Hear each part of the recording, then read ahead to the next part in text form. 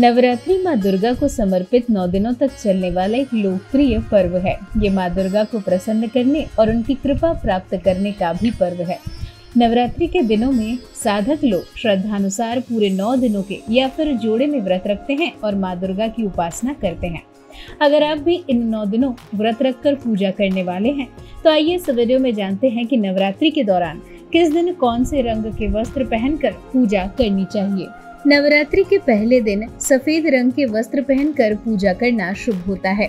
दूसरे दिन सफ़ेद या गुलाबी रंग का वस्त्र पहने। तीसरे दिन लाल रंग के वस्त्र पहनना चाहिए। वहीं चौथे दिन गहरा नीला या बैंगनी रंग का वस्त्र पहने। पांचवे दिन पीले या सफ़ेद वस्त्र पहने। छठे दिन गुलाबी रंग के वस्त्र पहने। सातवें दिन कत्थई या स्लेटी कलर का वस्त्र पहने। आठवें दिन सफ़ेद या बैंगनी रंग का वस्त्र पहने। वही नौवे दिन हरे रंग का वस्त्र पहनना चाहिए।